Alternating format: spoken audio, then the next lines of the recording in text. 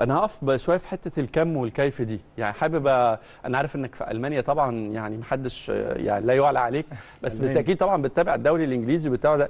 معظم الأندية الكبيرة السنة دي يعني أنا بتابع الميركاتو مش شايف موسم انتقالات من ناحية ضغط الكم آه، اللي تقدر تقول عليه. يعني الريال باستثناء آه، بيلينغهام مش شايف حاجة آه، تصنع الفارق في الريال. البايرن باستثناء آه، هاري كين مش شايف حاجة برضو آه، آه، أراهن في مثلا في رغم رحيل طبعا جوندوجان ورحيل آه، رياض محرز آه، لكن أنا بشوف إن لوكاس باكيتا صفقة من العيار التقيل جدا في المان سيتي كوفازيتش طبعا CV محترم جدا بس برضه يعني لما تيجي تتكلم على السيتي كوفازيتش لا. لا يرضي طموح مشجعي السيتي. اسم كبير ومهم وكل حاجة بس يعني ما هوش فبرضه الناس الأندية الكبيرة واللي كمان عندها قدرات شرائية كبيرة جدا ما بتعملش الميركاتو اللي هو بقى بال10 لعيبة وال- والثمان لعيبة وال... بالظبط لأن هو الفكرة بيقوم على ال needs احتياجاتك. احتياجاتك إيه لل squad؟ إيه النواقص اللي عندك؟ إيه اللي أنت. محتاجه يكمل بيه ال- المنظومة كلها. أيوة. الفكرة بتقف هنا. هو أنا مش محتاج إن أنا آه، يعني آه، أستقطب خمسة سبعة عشر لعيبة وخلاص أيوة. من من ناحية الكم. وأرضي بيه الجمهور أو ارضي بيه آه، مثلا آه، الإدارة وأرضي بيه أي حد. لا خالص. الموضوع بي- بيقوم على تحليل معين. أنا محتاج إيه؟ المدرب شايف هو احتياجاته فين بالظبط.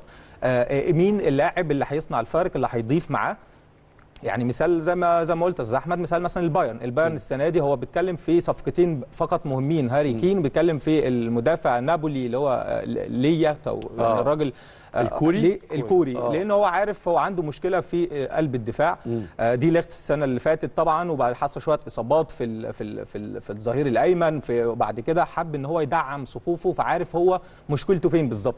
فتقريبا أنا أعتقد خلال ال- الأيام الباقية راح ساديو ماني بالظبط يعني بدأ فكان إن هو يشتغل. فهاري كين لأن ساديو ماني ما قدرش إن هو طبعا يحقق طبعا طموحات الفريق هو أيوة. قدر إن هو يلعب مرة يتعتمد عليه كتسعة صريح وما قدرش إن هو يحقق دوت يعني مم. ما قدرش يعوض غياب ليفاندوسكي أيوه نفس الكلام اللي هنربطه بالنادي الأهلي بنركز على صفقتين أو ثلاثة مع إعادة ع- مثلا الاثنين لعيبة من المعارين سواء كان كريم صلاح محسن أو كريم. نيدفيد ولكن التركيز كله مثلا على اثنين أو ثلاثة. أنا أعتقد إن الأهلي رايح برضو مركز على صفقة المهاجم اللي دايما أيوة. الكلام عليه ففي النهاية في نهاية الميركاتو هتلاقي وقفنا على ثلاث صفقات أساسية وفي لعيبة بتبقى مثلا بت- بترجع free أو هكذا.